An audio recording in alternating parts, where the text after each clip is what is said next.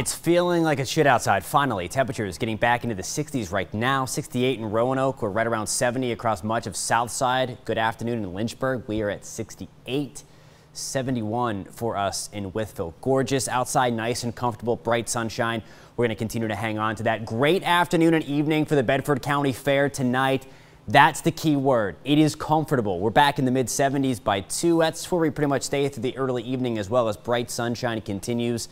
10 o'clock tonight. Temperatures starting to fall quickly once that sun goes down tonight. The air is dry. Temperatures will fall quickly. And again, we'll see uh, clear skies continuing tonight. Same story for Friday Night Football. Going to be a great night for it. Bring the light jacket, maybe the blanket with you.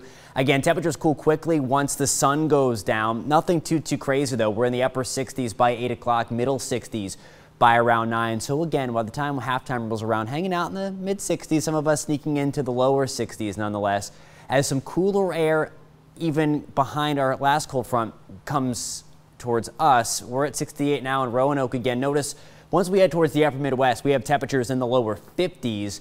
That's another cold front coming in. You see the drop off between Chicago and Bismarck. There's another one hanging out just to the west of Chicago.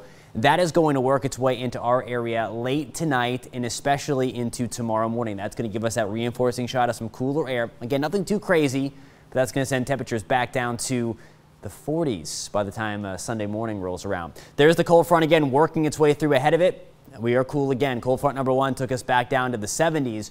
Tomorrow, we're back to the lower 70s. And I think a lot of us really stuck in the upper 60s tomorrow. We're going to have complete sunshine as well. So a very pleasant afternoon, certainly feeling like fall.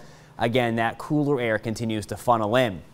Heading to game day tomorrow. Again, a lot of people heading out early, 5 o'clock in the morning. The pit opens. Sports Center starting at 7 o'clock to get on TV. Upper 40s again by 7 o'clock, so bring the jacket. You'll need it tomorrow morning. Sunshine out in full force though. And by 9 o'clock, the time game day starts, we're back in the middle 40s, right around 60 by 11 o'clock.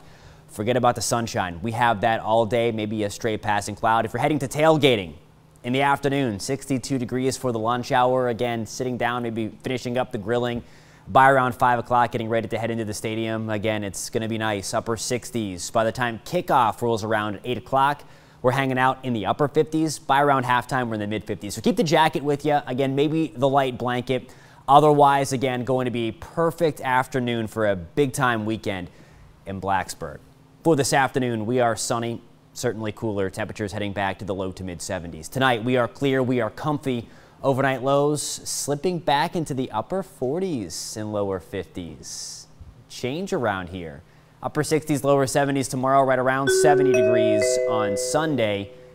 Going forward, we stay in the lower 70s until we get till about Thursday. When We'll start to crank up the thermostat again, just a couple of notches above where we should.